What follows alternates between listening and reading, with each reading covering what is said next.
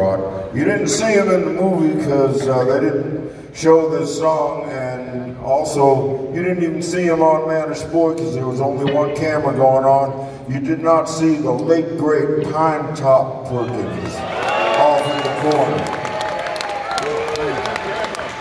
They did this song on the Muddy Waters Woodstock album in 1975, produced by Levon Helm and also that Paul.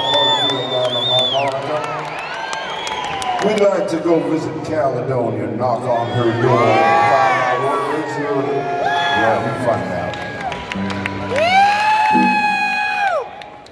And we have the great opportunity of the Lovey Horns right here. We've got to use them, you'll hear. And this song is a great boogie woogie song. In this corner, fighting at heavyweight tonight on the piano, Mr. John Medeski.